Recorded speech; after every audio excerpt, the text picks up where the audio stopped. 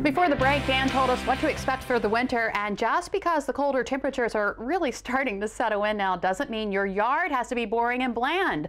Why not dress it up with berries this time of year? And who better to ask how than gardening expert Ginny Rosenkranz from the University of Maryland Extension Office. Thanks for joining us this afternoon. Thanks for having me. We have all these different berries, Oh, yeah. and they all do really well in the winter, in the Oh. cold weather, Absolutely. And the best part about them is that that's where they're supposed to be. right? And, and it sounds really kind of funny because people go, well, why would you have berries, you know, in the winter time when you could have flowers and all that? But it's too cold for flowers. But these guys are survivors. yes. And the ones that are native to us are actually provide good food for the birds. But Good. later on in the season, so we Uh-huh. get to enjoy the berries for quite a while because these berries right here have to ferment all right, so what do we have here? Okay, we have winterberry, which I think is so aptly named. So the orange one right here, the orange and the gold right here is, is a winterberry, and this bright red over here is winterberry. So you can have, it depends on your decor. If you Sure. have more gold, you could go ahead with the orange one, or if you Uh-huh. have more red, you could go with the bright red one. Okay. And mixed in with the uh, beauty uh, is, is the,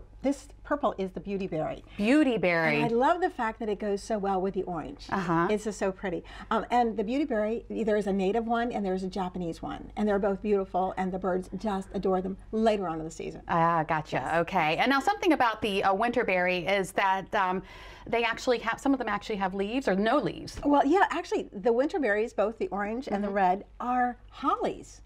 So they're hollies, like regular hollies, but they're deciduous hollies. So they lose their foliage just about this time of year. Oh, and that's okay. why you have these gorgeous, gorgeous berries with no foliage to, to fuss with. Oh, tell me about Foster holly. Okay, Foster holly. That's the only one that I have that has green leaves.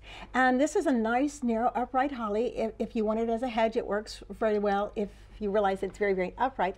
Um, but I just love the bright, bright red against the green. And on the color wheel, red is opposite of green, so it makes the red look redder and the green look greener. Just as with the orange beautyberry, I mean the purple beautyberry and the orange winterberry, they're on the opposite side of a color wheel too, so they make themselves look even more pretty. Okay, so let's talk about Nandia. Nandina.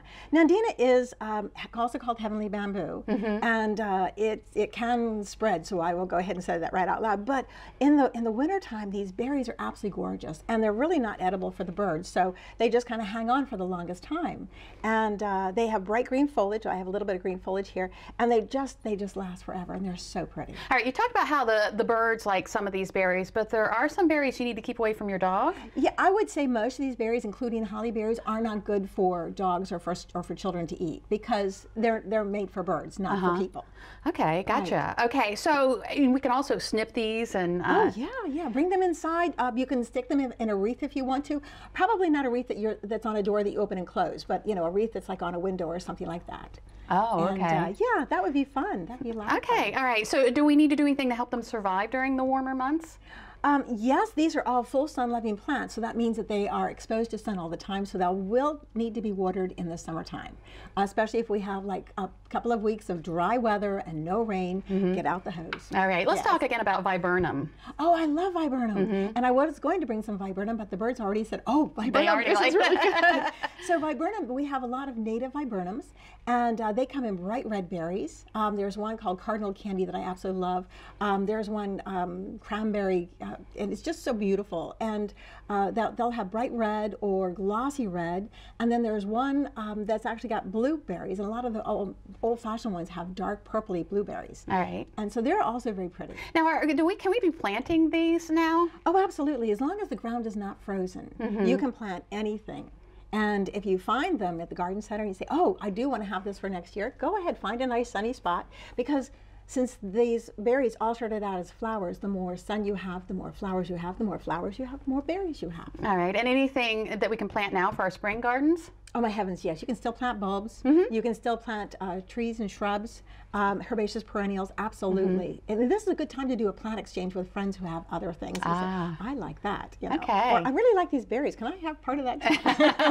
too?" share and share alike. Absolutely, it's the season. All right, Ginny, thank you so much. So beautiful. And if you want more information on these beautiful winter berries and how to care for them, go to WBOC.com, click on our picture at the top of the page. Well, these berries are so festive, they really do put you into the holiday spirit. But there's something else that may do the trick.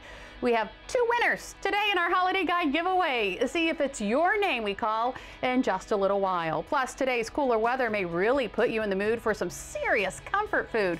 We'll show you where you can get your Irish fill of it next. Delmarva Life, we'll be right back.